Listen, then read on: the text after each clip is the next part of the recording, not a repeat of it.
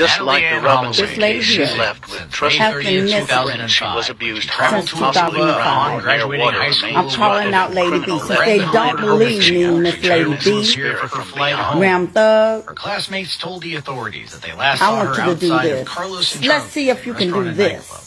She was case. seen in a car with local I residents. want this safe. Later on, I the want men to see were if we can questioned. solve Lack this of evidence case. and no body made their arrests hard to stick.